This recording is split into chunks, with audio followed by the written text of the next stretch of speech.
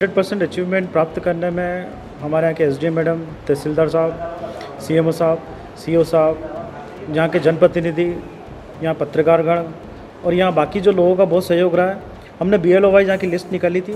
उसके माध्यम से हमने घर घर जाके सभी टीमों के माध्यम से ये सूचना पहुँचाई थी कि वैक्सीनेशन करवाइए, ये तीसरी लहर में आपको बचाव करने में बहुत सारा सहायक रहेगा।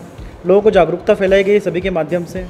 इसके आधार पर ही हमारे यहाँ जो 9000 का टारगेट था वो अचीव कोरोना को लेकर के हम लोग लगातार सक्रिय है और जैसा कि माननीय प्रधानमंत्री जी, माननीय मुख्यमंत्री जी ने जो लक्ष्य दिया था और जो समय तय किया था, हमारे समस्त शासकीय अधिकारियों ने, डॉक्टर्स ने नर्सेज ने मिल करके और जनप्रतिनिधियों ने मिल करके समय सीमा से पहले ही अपना लक्ष्य पूरा करा है और 100 प्रतिशत वैक्सीनेशंस हमारे यहाँ हो चुका है और पंधाना मध्य प्रदेश में अपना एक स्थान बना पाई है।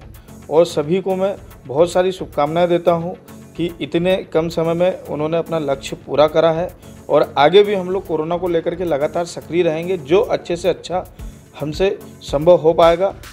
तो लोगों में थोड़ा जिस चीज़ को लेकर मिथ्या थी तो उस चीज़ को मिथ्या को ही सुधारा गया है। ग्रामीण क्षेत्रों में भी हमारी ये रणनीति बी के माध्यम से हम जानकारी ले रहे हैं सभी लोगों का, और हमने सभी विभागों को इस चीज़ में लगा रखा है, और लोगों को लोग ज़्यादा से ज़्यादा हम जागरूक कर रहे हैं। पर जो कुछ लोग जो पलायन कर रहे हैं, उनकी हम सूची तैयार करवा रहे हैं कि हमारा जो टारगेट है, कुछ हो सकता है, थोड़ा बहुत कुछ कम हो जाए, वो पलायन करने वाले व्यक्तियों की तुलना में।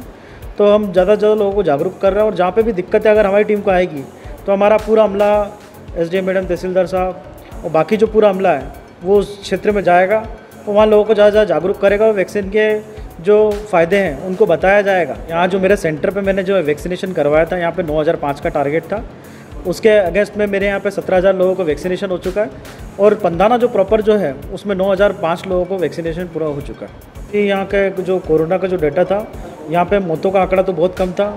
लगभग जो हमारे जो सेकेंड लेयर में जो मौतों का जो आंकड़ा था, वो पाँच से सात मरीजों का था। और जो हमारे जो स्वस्थ होकर जो लौटे मरीज़ सभी हमारा कोविड केयर सेंटर भी हमने बनाया था जिसमें हमने सत्तर पेशेंटों को ठीक करा था।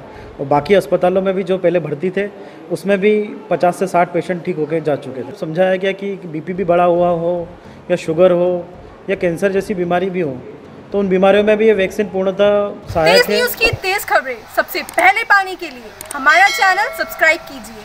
और हाँ बेल आइकन दबाना ना भूलें।